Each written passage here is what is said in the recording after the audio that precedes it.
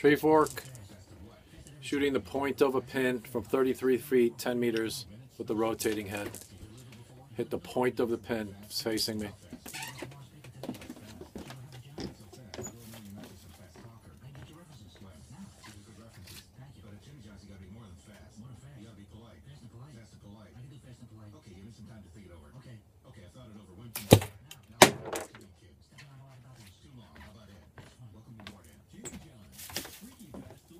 Is.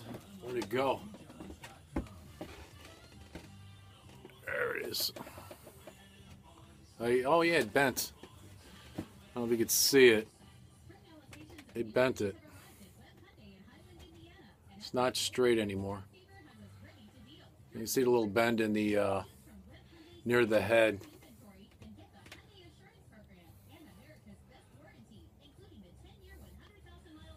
It's amazing something that light would get bent. Anyway, uh, 33 feet, 10 meters, hitting the head of the pin. Thank you.